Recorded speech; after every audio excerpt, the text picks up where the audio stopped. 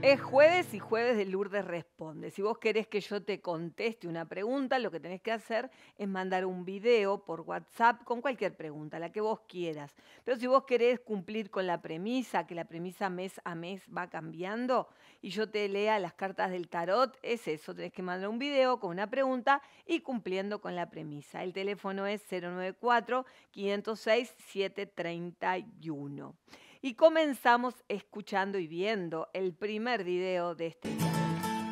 Lourdes, eh, te veo todas las tardes.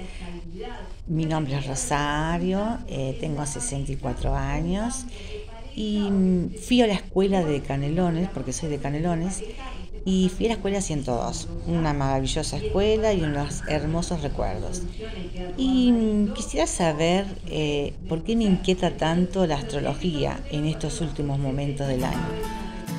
Bueno, Rosario, ¿por qué te inquieta tanto la astrología en estos momentos o en esta altura del año?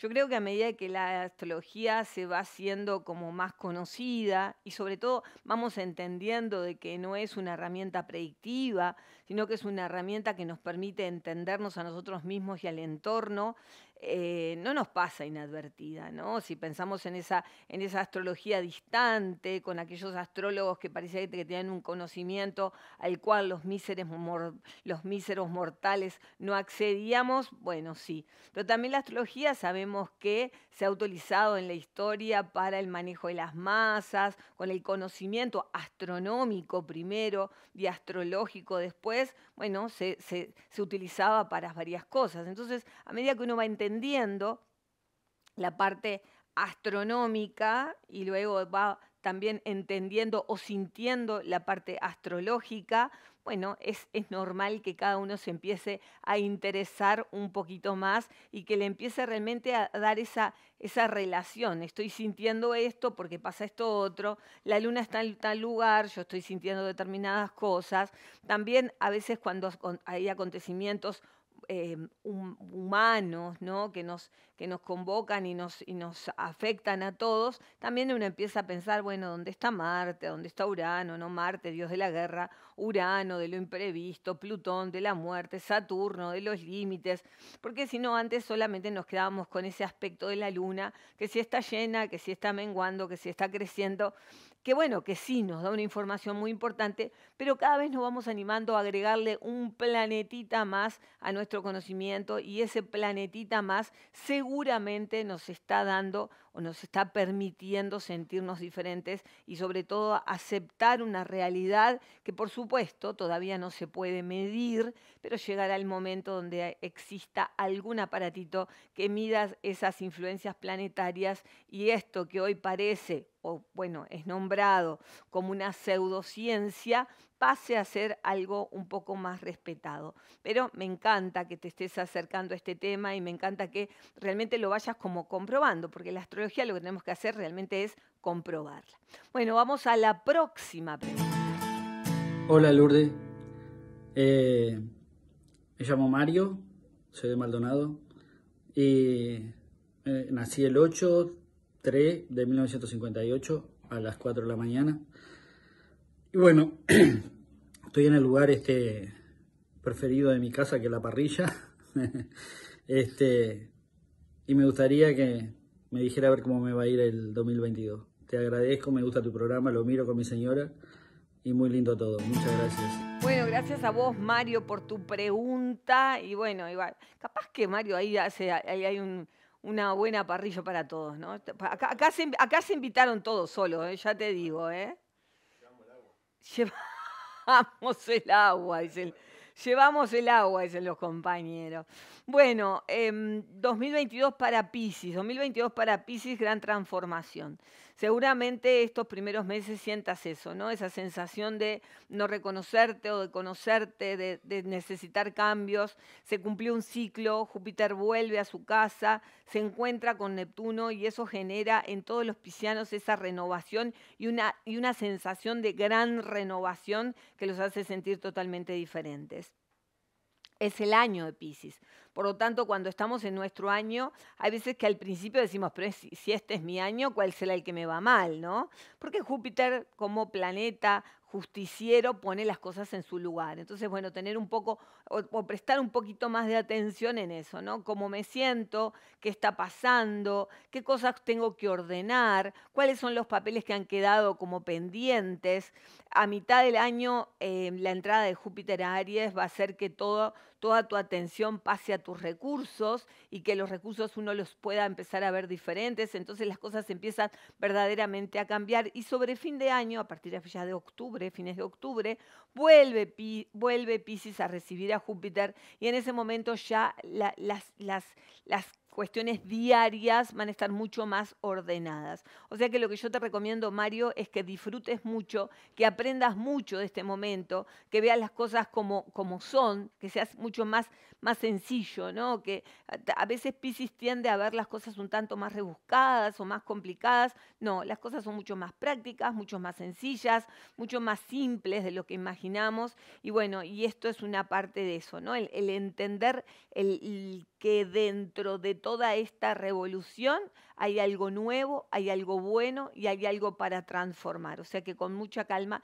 transformar y reciclar los momentos que estás eh, atravesando. Vamos entonces ahora a ver el próximo video. Hola Lourdes, eh, soy Esther Meneses de, del 3 de julio de 1950 a las 8 de la mañana, eh, según mi madre. Este, y realmente este, fui, a, fui a la escuela de Isidoro La Raya y Veracierto, hermosa escuela que en mi época era todavía una clase vieja, o sea, era solo el salón viejo, después hicieron cantidad de, de locales nuevos, todo precioso. Y ahora he leído en Facebook que no hay segundos años y que parece que podrían cerrar la escuela si no entendí mal. Eh, me daría mucha pena este, y el recuerdo que más tengo es de la maestra de cuarto, Adela Prefumo. Era una maravillosa ternura divina. Bueno, espero que esto te llegue y bueno, solo eso. bueno, beso grande, te veo todos los días, pudiendo, te veo todos los días. Beso enorme.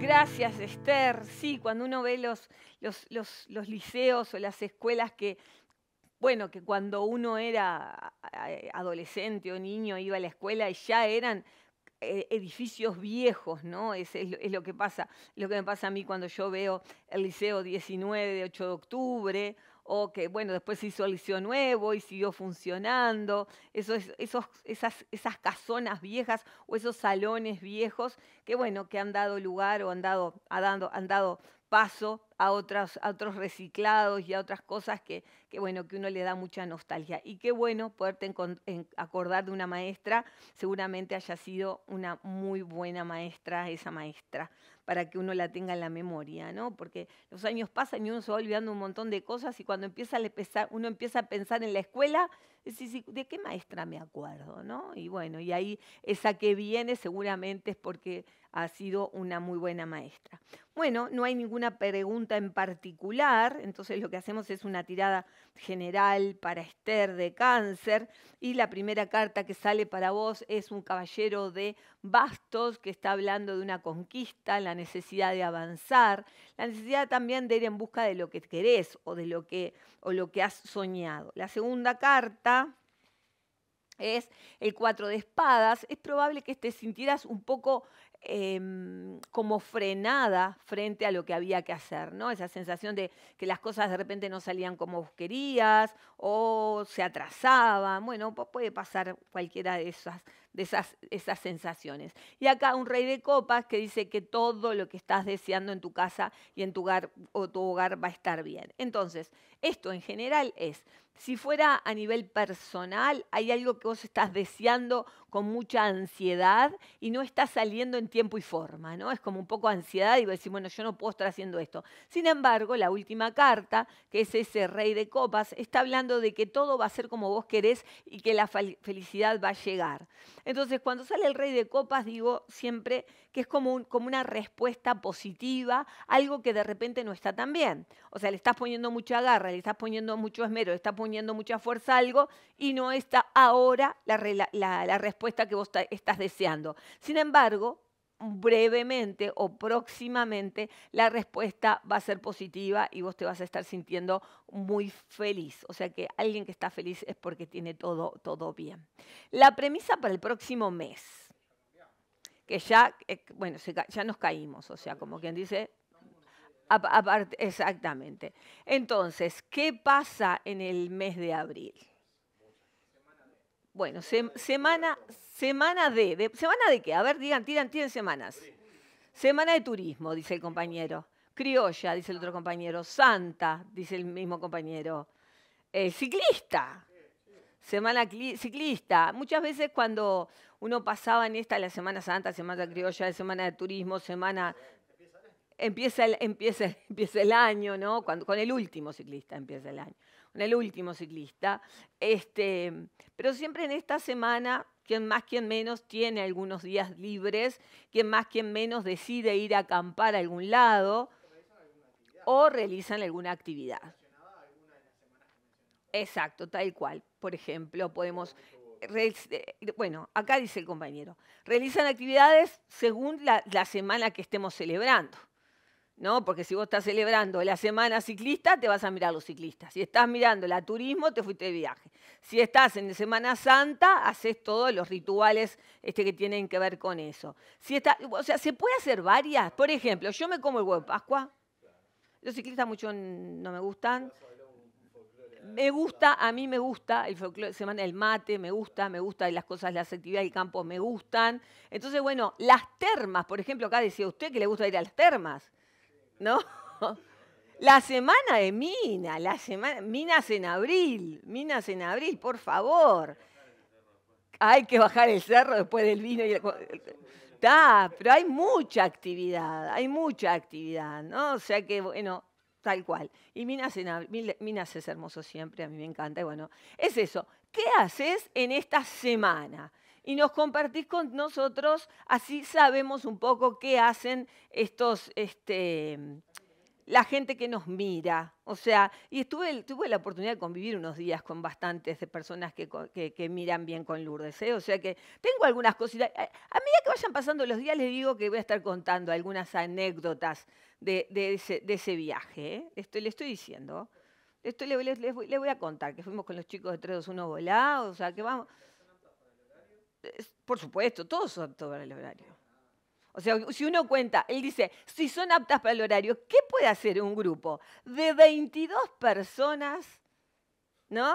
¿Qué pueden hacer un grupo de 22 personas visitando las maravillosas lugares de Cusco, Valle Sagrado, Machu Picchu? O sea, ¿qué, puede pasar? No sé, por qué se ríe usted. ¿Usted qué piensa que, que se pudo hacer?